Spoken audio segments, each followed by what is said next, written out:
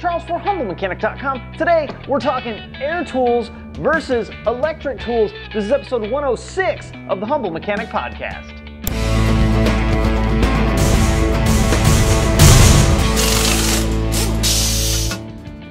It may come to you as no surprise that I absolutely love buying tools. It's an essential part of my job, and this job allows me to feed a hobby that I'm really into. So today, we're gonna talk air tools and electric tools, pros and cons, and which one is actually better. But before we get into the show, let's talk about the sponsor of the day, Rain Eater Wiper Blades. Look, wiper blades are one of the easiest DIYs you can do on a vehicle, and it's also one of the most overlooked maintenance things on cars. So if you want an awesome quality wiper blade at a great price, check out Rain Eater Wiper Blades at raineater.com. Rain Eater actually just launched a subscription service for wiper blades, which basically lets you put your wiper blade ordering on cruise control. It's really awesome. Check it out. I'll make sure I put a link in the video and the show notes for you guys. So power tools in general, whether they're air or electric, are an essential part of being a professional technician.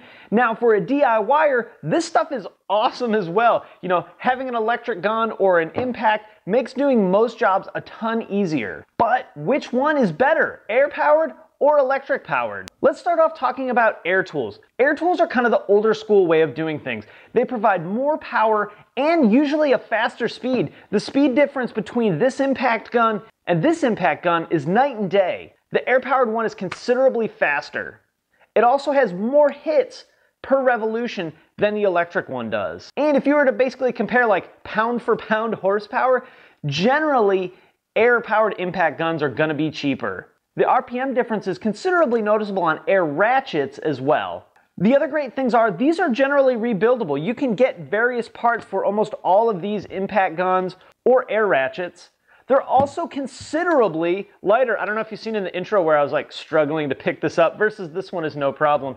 And I'm right-handed, so this one should be easier to pick up. They also come in a ton of different variants of half-inch drive, 3 8 drive. You can see these are basically the same. These are both built on Ingersoll Rand frames. This one was labeled a Mac gun, but all the stickers have worn off over the years of use. So there's, there's a lot to love about the air-powered guns, but there are some negatives. The biggest, the biggest negative is you're tethered. If you want to use this, you have to have shop air hooked up to it the entire time. If you're working at a shop with a big, like 10 foot long compressor tank, two big compressor motors, it's not a big deal. You have a consistent supply of air. But for me, like at the house, I have a crappy 30 gallon air compressor that'll barely, barely, barely keep up with this impact gun. Usually I have to wait till the tank fills. I can take two wheels off with this, then I have to wait for it to fill back up. Also, there's more maintenance. Now that can be a good thing or a bad thing. Generally, people oil their air tools every day, every other day. There's also a little port in most impact guns for you to oil the hammer as well. So some people view that as a good thing. You know, you can take better care of your tools. Some people say, well, that's just one more maintenance step that with an electric tool, I generally don't have to worry about. And again, they're not portable. You're stuck at a location that has shop air in order for these guns to be any good. Now, when we look at electric power tools, the opposite is true. Now, for the most part, I'm talking about battery operated tools. I know there's a lot of plug-in tools which have a lot of the restrictions that the air power tools do, but right now I'm basically talking about battery operated stuff, things like this impact gun, this smaller impact gun, this electric ratchet. So these are highly portable. You can take this anywhere. You can throw it in your car. You know, if you're going to the junkyard, you can bring it with you to take parts off cars. It's great for changing tires on the roadside, so you don't have to screw around with the, uh, the manufacturer supplied tooling. The go anywhere option of these is really one of the greatest features of having battery powered stuff.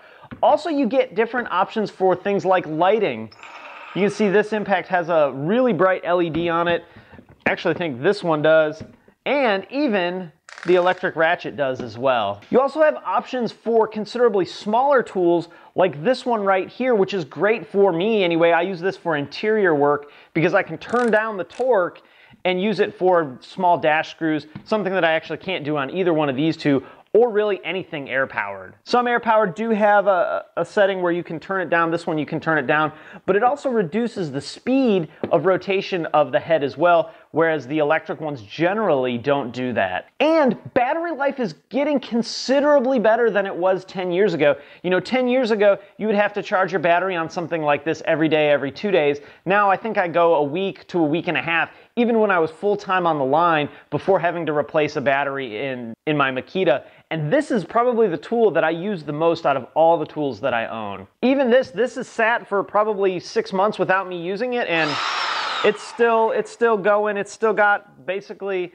a full charge on the battery. So it's cool that, you know, a lot of these also now have indicators as well so you can tell exactly how much charge the batteries do have. But the drawback to these really nice battery powered tools is they're generally expensive. They're generally more expensive than their air powered counterpart. This one I think came in over $300. This was right at 200 bucks. I got it on sale for like $120. This one was a little bit more expensive because it was labeled Mac. I bought it on eBay, so I got a really good deal on it. But if you buy these on the tool truck, you're gonna pay top dollar. But the same goes for the electric powered tools as well. If you're buying them on the tool truck, they're going to be ultra expensive. This one is actually from Lowe's. I did a review on it. I'll put a link in the show notes. You're also going to need a way to charge the battery. So at some point at using this, you're going to need access to a power source. It's obviously not unlimited, unlimited power, despite the fact that we are almost at Back to the Future date. We, uh, we don't have unlimited power sources just yet, so you are going to need a place to charge the battery. The good thing is, is most of this kind of stuff does come with a battery and a charger as well, depending on what you're buying. I think I kind of mentioned it on the air power tool. These things are heavy. This thing weighs a ton. This thing probably weighs twice what this gun does. And, you know, for a DIYer, and a, a casual user of this kind of stuff, that's not a problem. I will tell you though, using them throughout the day, because I really tried hard to use this throughout the day in the shop, it gets heavy very fast. And I actually did switch back to my air powered impact gun because it was so much lighter and so much easier to use. Now, these are composite, which makes them considerably lighter than, say, a full steel bodied impact gun, which I think this is pretty much the style that most everybody uses. But carrying around something this heavy and using it all day does become quite taxing. So that begs the question who wins? What's better? Air powered or electric? Well, it may come as a surprise to you that neither one is actually better than the other. They both have their place in the world and really shine in different areas.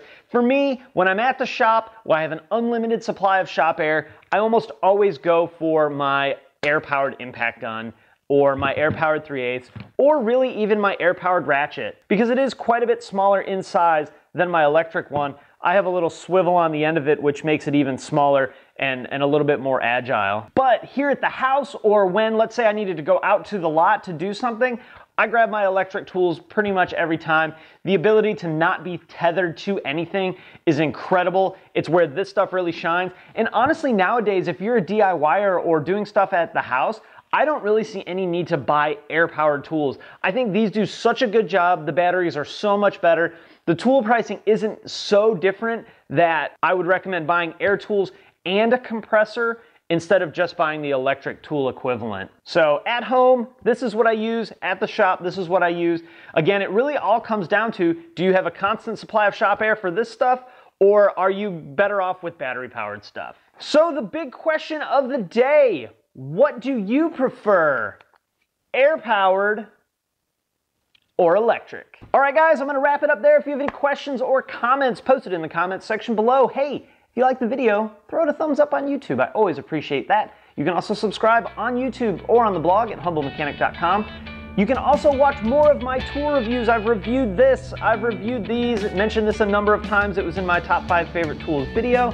I'll put links to all that stuff in the show notes. You can also check out the playlist tool and product review. It'll tell you more about this kind of stuff as well. You can follow me on Facebook, Twitter, Instagram, the blog, and obviously here on YouTube. All right, guys, thanks for watching, and I will see you next time. Uh, no beer of the day. Another day of coffee of the day. This is, uh, I don't know, some coffee my wife bought, a little vanilla syrup, just a touch of milk, and like you guys know, I like my coffee iced.